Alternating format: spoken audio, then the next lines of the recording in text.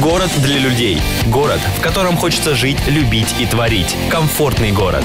Команде национального телевидения предстоит решить задачу, как сделать место проживания удобным для людей. Как они с этим справляются, смотрите в программе «Комфортный город». Каждый первый вторник месяца в 20.00 в эфире национального телевидения Чувашии.